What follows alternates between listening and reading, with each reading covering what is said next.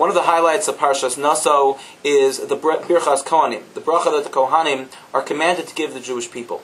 In the land of Israel, the bracha is given every day.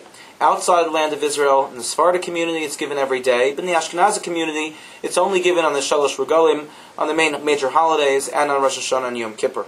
And when that bracha is given, the Kohanim are told to give it to Bnei Yisrael, all of the Jewish people. Rabbi Yisrael Mimajitz explains that every single Jew deserves to have a bracha from a Kohen whether a Jew is important or not important, wealthy or not wealthy, whether uh, an individual is a righteous person or not a righteous person, everyone deserves a bracha from the Kohanim. And we're told that this bracha is called the Nesias Kapayim. Nesias Kapayim is the raising of one's palms, of one's hands. Why is it that the Kohanim were had to raise their hands? And the people, all of us know that the Kohanim raise their hands and hold their fingers out when they are making this bracha. Why couldn't they keep, just keep their hands at the sides?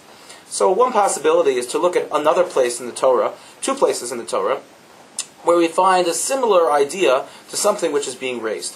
When the Jewish people were in a war with Amalek, the Torah says that Moshe raised up his arms, and when Moshe's arms were raised, the Jewish people were victorious.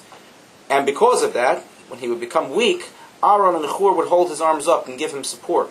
Similarly, when the Jewish people were struggling, struggling with a plague in which they were bitten by snakes, Hashem tells Moshe to take a copper snake, to put it on a staff, raise it up high, and people who look at it will be cured.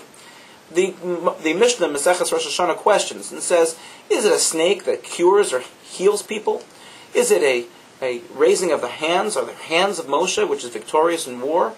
Rather, the Mishnah says that the, in both of these cases, the people are looking up. They're looking in the direction of up towards the heavens and that when the Jewish people look up towards the heavens, when they look to Shemayim, when they look to Hashem, and they understand that Hashem is the one who really heals a person from sickness, and Hashem is the one who allows a person to be victorious or a nation to be victorious in battle, then they will be successful.